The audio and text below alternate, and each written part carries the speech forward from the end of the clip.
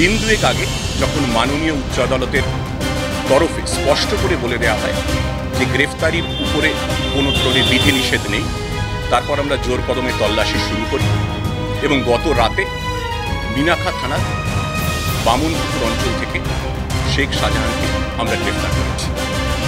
দীর্ঘ জল্পনার পর অবশেষে পুলিশের জালে সন্দেশখালী কাণ্ডের মূল মাথা শেখ শাহজাহান। একদিকে শাহজাহানের বিরুদ্ধে বহু ধারায় অভিযোগ, অন্যদিকে আলাদাই ছিল শাহজাহানের বডি ল্যাঙ্গুয়েজ।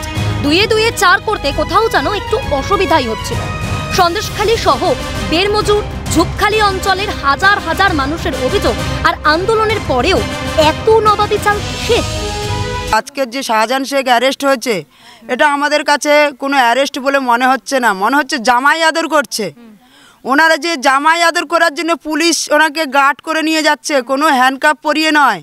কোনো আসামি হিসেবে নিয়ে যায়নি। ওনারা নিয়ে যাচ্ছেন জামাই আদর করা বছরের পর বছর ধরে অত্যাচারের কথা প্রকাশ্যে এনেছেন মহিলারা।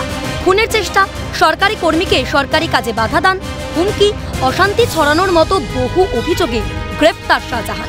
ইডি আধিকারিকদের আক্রমণ করার আগেও পুলিশের খাতায় বহু অভিযোগ ছিল শাহজাহানের। ছিল চার্জশিটে নাম তবুও গ্রেফতার হননি নিজের ক্যারিশমায় অথচ সাংবাদিক বৈঠকে এডিজি দক্ষিণবঙ্গ বললেন, আটই ফেব্রুয়ারির পর যে মামলাগুলি দায়ের করা হয়েছে, যেখানে শেখ শাহজাহানের নাম এসেছে অভিযুক্ত হিসেবে, সেগুলো প্রত্যেকটাই দুই থেকে তিন বছর আগের ঘটা কিছু ঘটনার ভিত্তিতে অভিযোগ দায়ের করা হয়েছে, প্রত্যেকটি। আপনারা নিশ্চয়ই জানেন এবং নিশ্চয়ই মানবেন, দু তিন বছর আগে যে ঘটনা ঘটে, সেই ঘটনার ভিত্তিতে যে অভিযোগ দায়ের করা হয়, তার প্রত্যেকটা তদন্ত শুরু হয়েছে।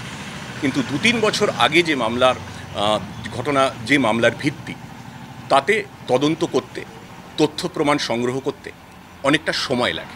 এখানেই তো প্রশ্ন পুলিশ কর্তা নিজেই স্বীকার করলেন দু থেকে তিন বছর আগের অভিযোগ। তাহলে দু থেকে তিন বছর আগেই কেন শুরু করেননি? কেন রাস্তায় নামতে হলো সন্দেশখালীর মহিলাদের? পুলিশের কাছে কোনো খবর থাকতো না? কেন সন্দেশখালীর জন্য মুখ পুরল রাজ্যবাসীর?